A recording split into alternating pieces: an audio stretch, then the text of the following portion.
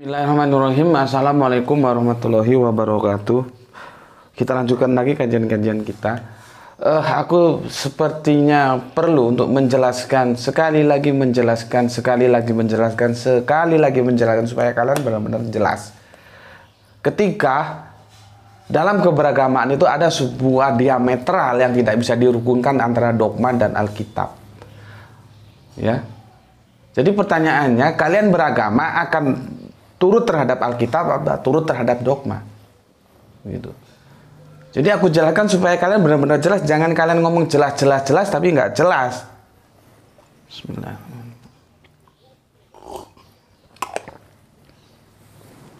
Jadi bodoh itu harus diilangi dengan belajar. Videoku itu dia berseri. Tidak bisa kalian hanya lihat satu video tanpa harus memperhatikan video-video sebelumnya. Anda katakan simpulkan begini dan begitu. Apalagi hanya nonton judulnya terus Anda simpulkan. Ya jelas keblangsat. Ya. Aku awali dari begini. Dari keluaran ya 7 1 ya. Aku baca saja di sini. Aku baca langsung dari Alkitabnya. Berfirmanlah Tuhan kepada Musa, "Lihat, aku mengangkat engkau sebagai Allah bagi Firaun, dan Harun abangmu akan menjadi nabimu." Jelas, teksnya tertulis Allah, nggak ada pilihan lain. Allah.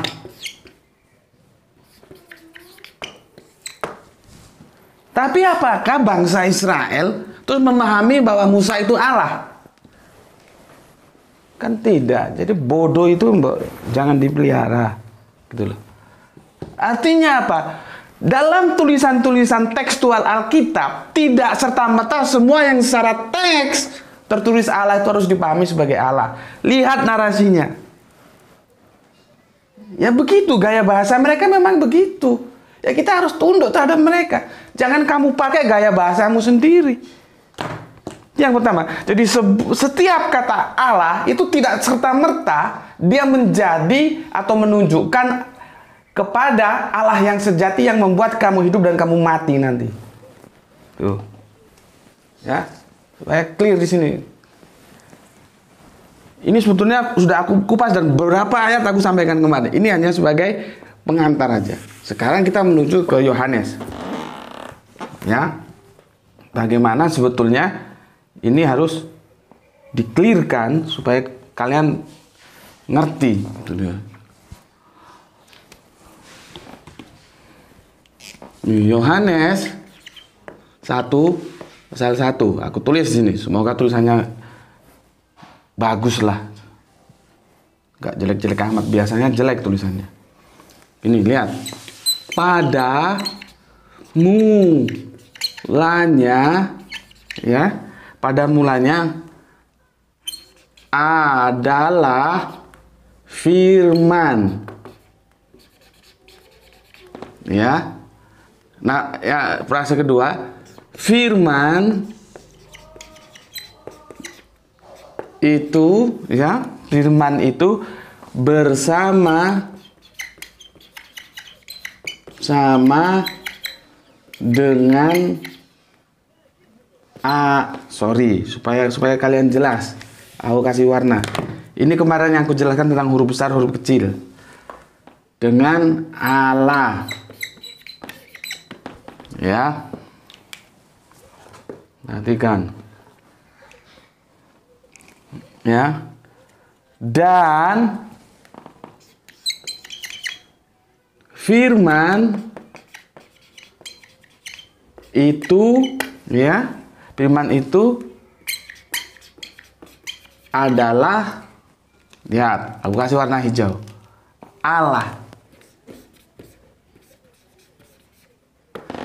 Kemarin referensi Bible dalam edisi bahasa Arab aku sudah jelaskan. Tidak begini terjemahan mereka. Itu supaya khasana, supaya kamu berpikir, oh ternyata nanti dalam edisi Arab beda lagi ya artinya ya. Gitu loh. Dan edisi Arab adalah firman dari Allah. Atau firmannya Allah karena kalimatullah itu kalimatnya Allah atau atau kalimat dari Allah atau bukan bukan firman itu adalah Allah. Gitu loh. Kemarin kan aku sudah bukakan Injilnya. Ini ini ini ini, ini. Di situ kan nama ini Injilnya. Aku malas buka lagi. Kemarin kan sudah. Perhatikan. Tidak semuanya kata Allah itu menuju pada Allah sejati. Ya. Di sini Allah merah. Di sini Allah biru. Nih supaya gampang. Beda. Ya. Beda.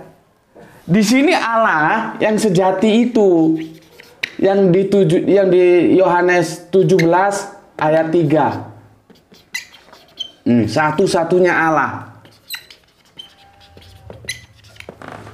Sedangkan di sini itu kalau teman-teman teman-teman dari mm, Kristen Unitarian atau atau itu ilahi gitu loh. Ya, jadi kalau kalau yang di sini dia itu Allah yang sejati, di sini Allah yang yang ilahi, bukan Allahnya ini eksistensinya, ini sifatnya. Kenapa ilahi? Ya nabi-nabi itu ya ilahi semua. Gitu loh. Kalau nabi-nabi nggak ilahi apa bedanya nabi dengan tukang parkir? Dia punya karakter-karakter keilahian. Gitu loh. Jadi Allah di sini bukan Allah yang di sini.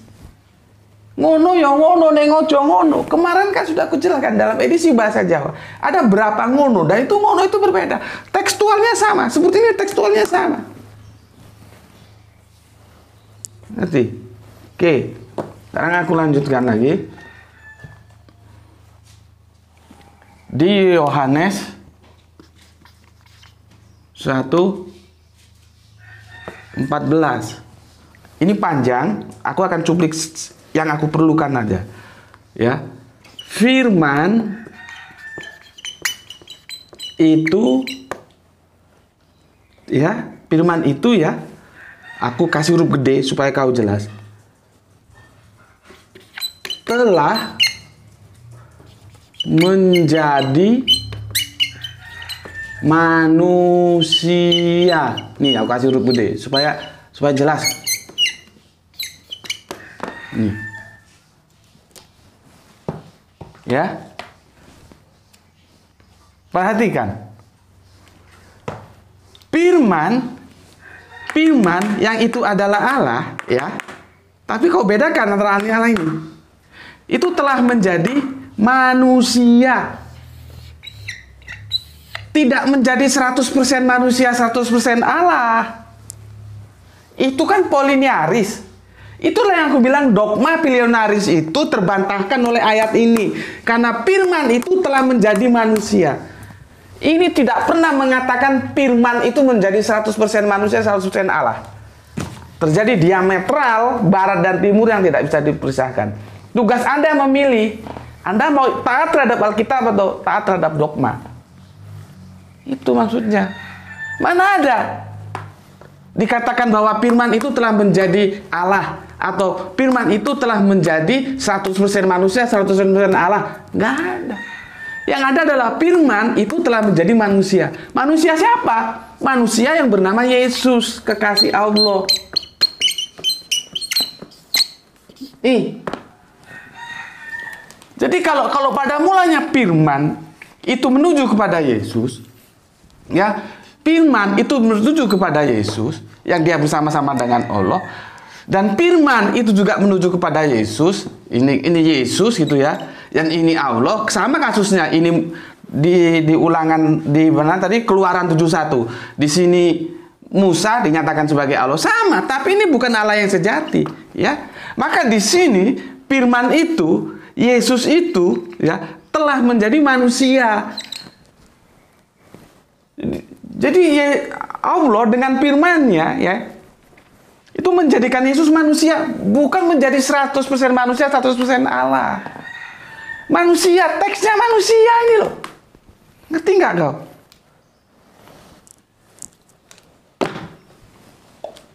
Ini nggak nggak ada alasan untuk mengatakan bahwa Yesus itu Allah kecuali dalam dogma. Jadi Yesus sebagai Allah itu hanya ada tumbuh dan berkembang dalam dogma, tidak dalam Alkitab.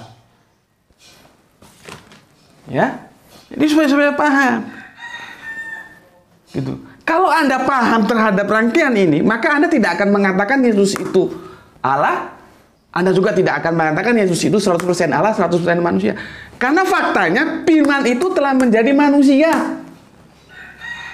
Bukan menjadi 100% Allah, 100% manusia, apalagi menjadi Allah. Ya? Udah, belajarlah supaya pinter kau. Kalau keputusan akhir terserah kau lah.